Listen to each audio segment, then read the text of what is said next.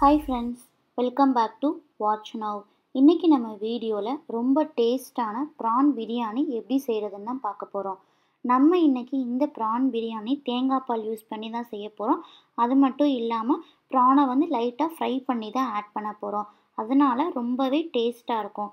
வாங்க இப்போ எப்படி செய்கிறதுன்னு பார்த்துடலாம்.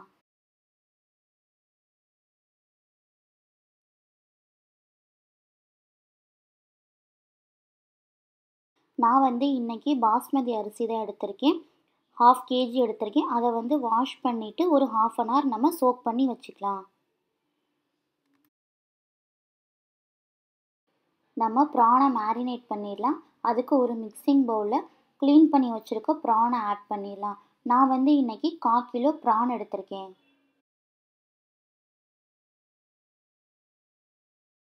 இதில் நம்ம மாரினேஷனுக்கு தேவையான அளவு உப்பு ஆட் பண்ணிக்கலாம். ஒரு tablespoon chilli powder add பண்ணிக்கலாம். ஹாஃப் டேபிள் ஸ்பூன் மல்லித்தூள் ஆட் பண்ணிக்கலாம். நம்ம இதை நல்லா மிக்ஸ் பண்ணிவிட்டு ஒரு ஹாஃப் அன் ஹவருக்கு நல்லா மேரினேட் பண்ணி வச்சுக்கலாம். இப்போ நம்ம பிரியாணி பாட்டை சூடு பண்ணிவிட்டு அதில் ஒரு டேபிள் ஸ்பூன் அளவு நெய் ஆட் பண்ணிக்கலாம். ரெண்டு டேபிள் ஸ்பூன் ஆயில் ஆட் பண்ணிக்கலாம். ஆயில் நல்லா சூடாகட்டும். இப்போ இதில் நம்ம மூணு கிராம்பு மூணு ஏலக்காய் ஒரு சின்ன துண்டு பட்டை ஒரு பிரியாணி இலையை ஆட் பண்ணிக்கலாம். லைட்டாக பொரிஞ்சதும் மூணு பெரிய வெங்காயத்தை ஸ்லைஸ் பண்ணி வச்சுருக்கேன். அதை சேர்த்துடலாம்.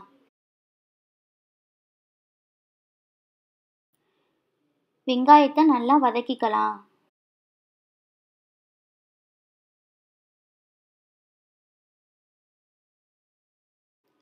வெங்காயம் நல்லா வதங்கிருச்சு. இப்போ நம்ம ஒரு tablespoon chilli powder add பண்ணிடலாம்.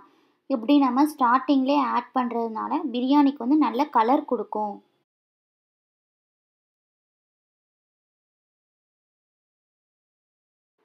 நான் வந்து நூறு கிராம் சின்ன வெங்காயம் நாலு ஏலக்காய் நாலு கிராம்பு ஒரு சின்ன துண்டு பட்டையை அரைச்சி வச்சுருக்கேன்.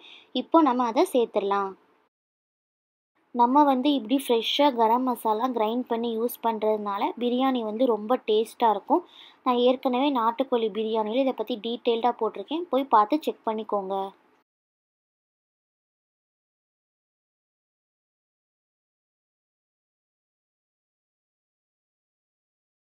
இப்போ இதில் நம்ம ரெண்டு டேபிள் ஸ்பூன் இஞ்சி பூண்டு பேஸ்ட் ஆட் பண்ணிக்கலாம். இஞ்சி பூண்டு பேஸ்ட்டோட பச்சை வாசனை போகிற வரைக்கும் நல்லா வதக்கிக்கலாம்.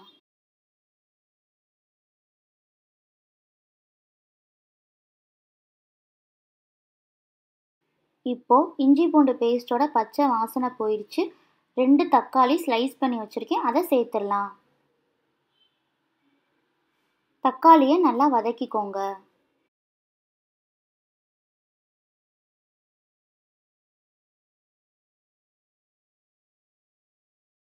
இப்போது தக்காளி வெங்காயம் எல்லாமே நல்லா மேஷ் ஆயிடுச்சு. நம்ம பச்சை மிளகாயை சேர்த்துடலாம். நான் வந்து அஞ்சு பச்சை மிளகாய் சேர்த்துருக்கேன். கொத்தமல்லி புதினா இலையை சேர்த்துடலாம். நல்லா வதக்கிக்கோங்க.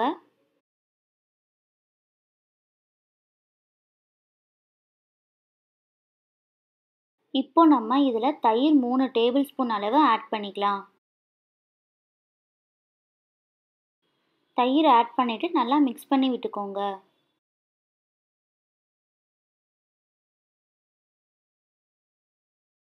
இப்போ நம்ம பேனை க்ளோஸ் பண்ணி ஒரு ரெண்டு நிமிஷத்துக்கு குக் பண்ணிக்கலாம்.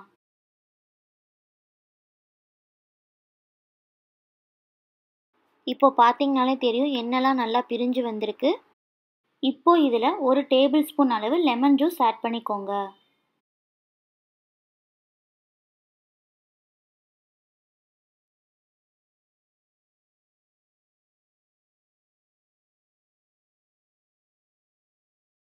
இப்போ நம்ம பிரியாணிக்கு தேவையான அளவு தண்ணி ஆட் பண்ணிக்கலாம். நான் வந்து நானூறு எம்எல் தண்ணி ஆட் பண்ணியிருக்கேன் இப்போ நம்ம பேனை க்ளோஸ் பண்ணிக்கலாம். தண்ணி லைட்டாக பாயில் ஆகி வரட்டும். இந்த மாதிரி லைட்டாக பாயில் ஆகி வரும்போது தேங்காய் பால் ஆட் பண்ணிக்கலாம். நான் வந்து முந்நூறு எம்எல் அளவுக்கு தேங்காய் பால் ஆட் பண்ணியிருக்கேன் இந்த ஸ்டேஜில் நம்ம பிரியாணிக்கு தேவையான அளவு உப்பு ஆட் பண்ணிக்கலாம். இப்போ ஒரு தடவை நம்ம நல்லா மிக்ஸ் பண்ணி விட்டுக்கலாம்.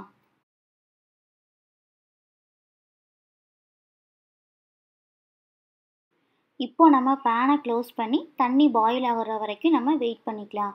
இப்போ பார்த்தீங்கனாலே தெரியும் தண்ணி நல்லா பாயில் ஆகுது. இந்த ஸ்டேஜில் நம்ம ஊற வச்சுருந்த அரிசியை ஆட் பண்ணிடலாம்.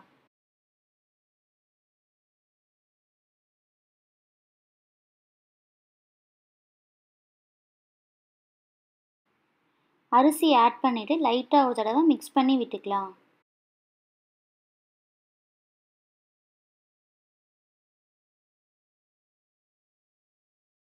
இப்போது நம்ம பேனை க்ளோஸ் பண்ணி குக் பண்ணிக்கலாம்.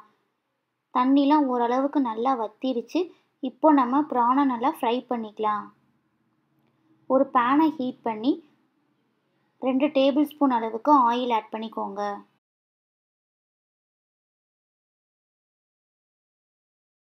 எண்ணெய் நல்லா சூடானதும் நம்ம மேரினேட் பண்ணி வச்சுருக்க ப்ரானை ஃப்ரை பண்ணிக்கலாம். ரொம்ப ஃப்ரை பண்ணிட வேணால் ரப்பர் ஆயிடும் ஒரு டூ மினிட்ஸ் மட்டும் நம்ம ஃப்ரை பண்ணிக்கலாம்.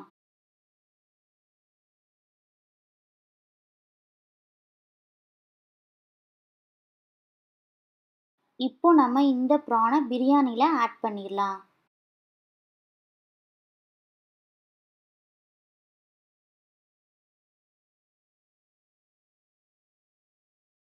ப்ரான் ஆட் பண்ணிவிட்டு நல்லா ஒரு தடவை மிக்ஸ் பண்ணி விட்டுக்கோங்க.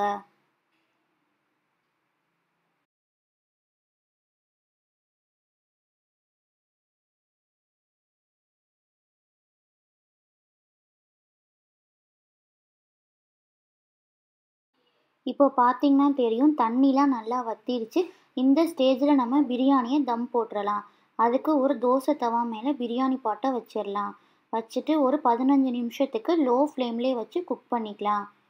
பதினஞ்சு நிமிஷம் கழித்து ஸ்டவ்வும் ஆஃப் பண்ணிவிட்டு ஒரு பத்து நிமிஷத்துக்கு அப்படியே விட்டுருங்க.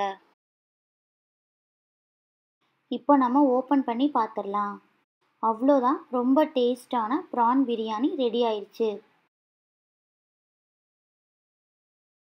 நீங்களும் இந்த பிரியாணியை மறக்காமல் ட்ரை பண்ணி பாருங்கள் ட்ரை பண்ணிவிட்டு எப்படி இருந்துச்சு அப்படின்றத கமெண்ட் பண்ணுங்கள்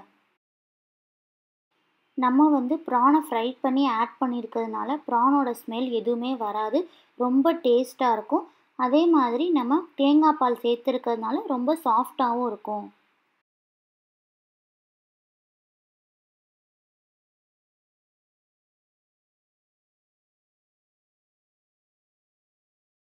இந்த வீடியோ உங்களுக்கு பிடிச்சிருந்துச்சுன்னா லைக் பண்ணுங்கள் ஷேர் பண்ணுங்கள் மறக்காமல் வாட்ச் நவர் சப்ஸ்கிரைப் பண்ணிக்கோங்க.